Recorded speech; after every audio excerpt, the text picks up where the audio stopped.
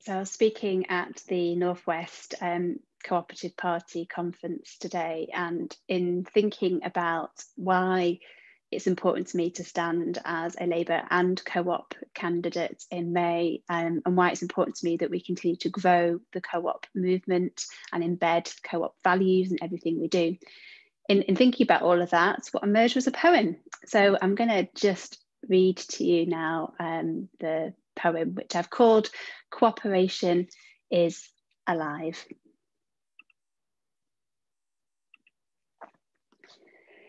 It's in our DNA, in our bones, in the building of our schools, shops, and homes, the working of the lands, our head, heart, and hands. It's in our wikis and our stickies, in the marching of our boots, and deep within the ground, in the fungi roots relied upon for pollination of our flowers and our plants, and seen in action in colonies of ants. It travels in the air we breathe and glistens on the webs we weave. It's the heavy loss we feel as we grieve. It's in our grit and our wit when we're at the bottom of the pit, and in the pride stitched into the badge of our favourite kit. It's in the dance of life through the trouble, joy, and strife. It shines in the care, smile, and mutual aid of stranger, neighbour, and services unpaid. A friendly nurse and opened purse when your tank and bank is empty, the cup that keeps on giving for as long as we are living. It's what makes the team and what creates the steam that powers our northern engines and dreams. It's in the soil and the oil that protects us as we toil and that's tough to break or spoil. It's in the kind of power that we grow and the ideas that we sow when we create the conditions for the rising and the sharing of the dough. It's in the stories of your gran from the rice fields of Japan, in the rhythm and the beats that line our urban streets. It's in the buzz of our bees and the whisper of the trees.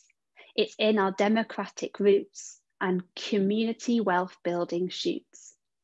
It's in our canals, pioneers, cycleways, quiet ways, memories of brigadiers.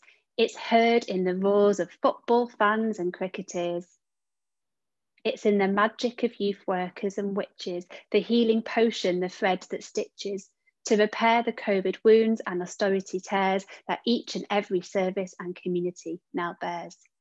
It's in a bed every night and support every day, in the living wages that we pay, in our northern spirit and our regional sway. From our great great grandfathers to our sister suffragettes, and now the calls of our sons and daughters to tell the truth without regrets. It's the bit we've overlooked in our relationship with the planet. It puts life before profit, so the Tories try to ban it.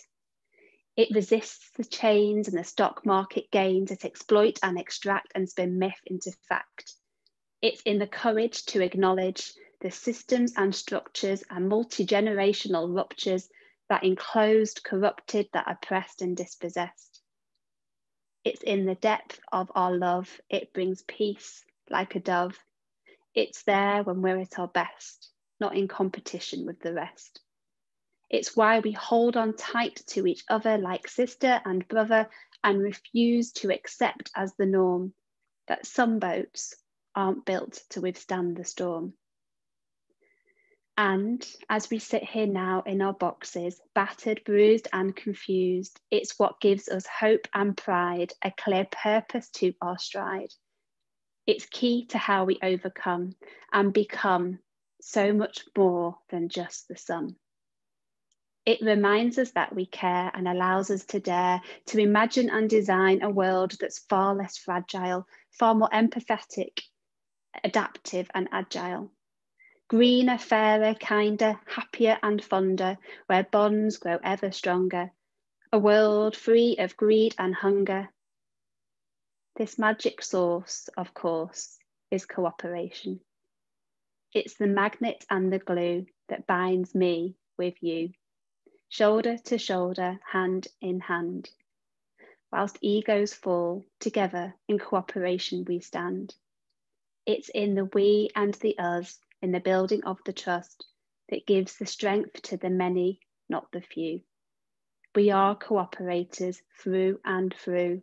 It's who we are and it's what we do. Thank you.